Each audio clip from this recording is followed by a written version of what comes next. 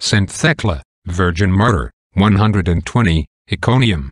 Saint Thecla was considered by Saint Isidore of Pelusium as the first woman martyr and one of the most beautiful ornaments of the century of the Apostles. Saint Methodius of Olympus wrote in the Banquet of the Virgins that she had great knowledge in profane philosophy as well as literature. He also stated that she expressed herself with strength and eloquence, as well as sweetness and affability. She was converted by St. Paul and became knowledgeable in our religion. He praised her love for Jesus Christ, which she demonstrated on countless occasions, principally in her combats for the faith.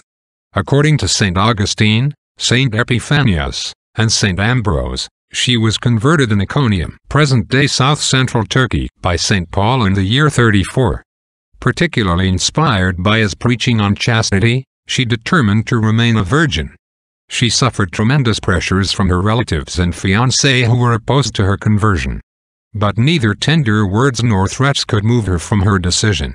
St. Thecla realized that those who were closest to her were, in fact, acting as instruments of evil and thus avoided them as enemies of the Catholic cause.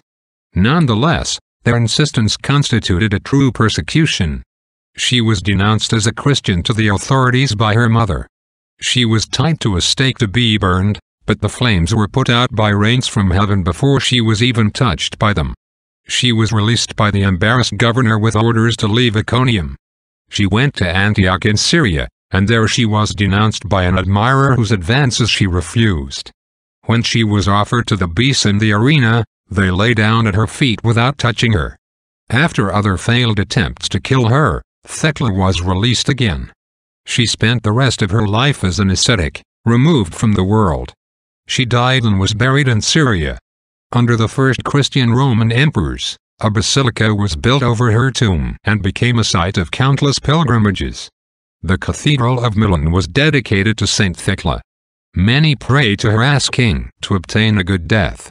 The presence of persecutors against Saint Thecla among her very relatives and fiancé shows how vigilant we should be regarding enemies, and offers us a theme for meditation.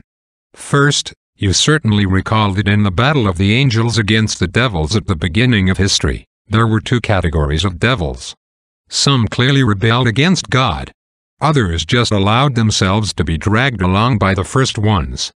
God condemned them all, but the first ones were sent straight to hell, while the second ones remain wandering in the earth until the end times, when they also will be sent to hell. The devils of hell are the ones who invite man to sin, and the devils of the earth are the ones who predispose man in different ways to succumb to their temptations. Second, this division of devils is quite accurate psychologically and also applies to evil men.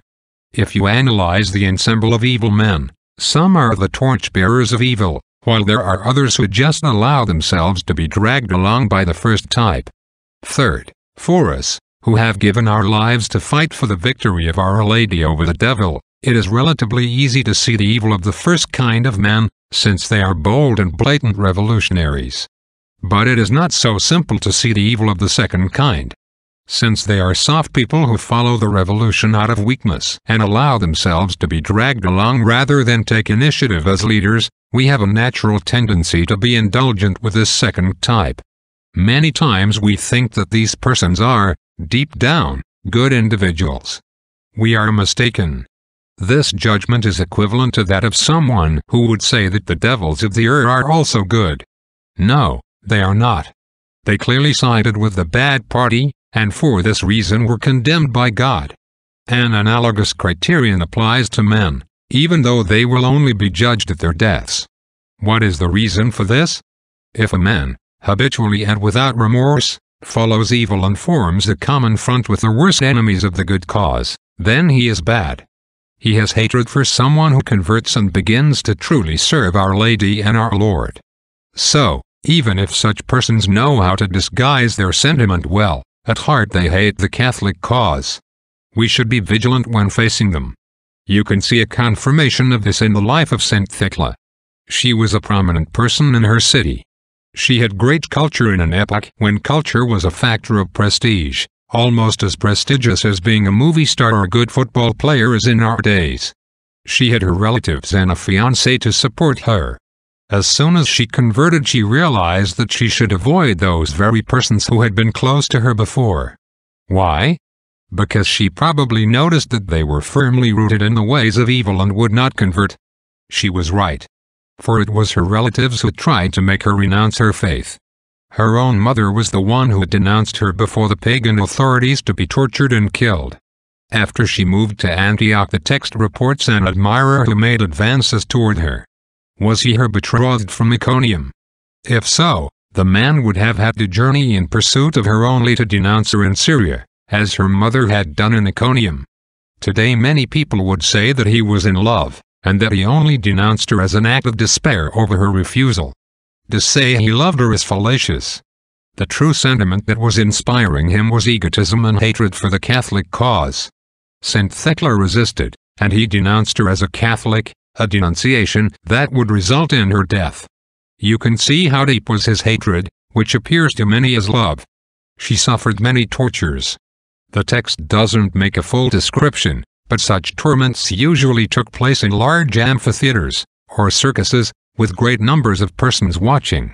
Even from the brief description given, one can see that many miracles were made by God to preserve her and keep her alive and unharmed. The selection does not indicate that there were any other conversions among those who witnessed the miracles. That is, all those people concurred with her mother and her admirer. Since they saw all the miracles God made to save her but didn't care about them, those people were also bad. She was saved miraculously and released, and she spent the rest of her life separated from the world. She renounced everything she could normally expect in life in order to serve the Catholic cause. She understood the hostility of the world, and because she was vigilant, she was victorious over it.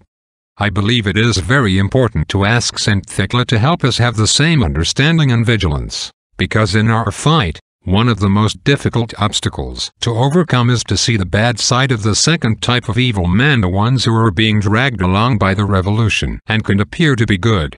Amen.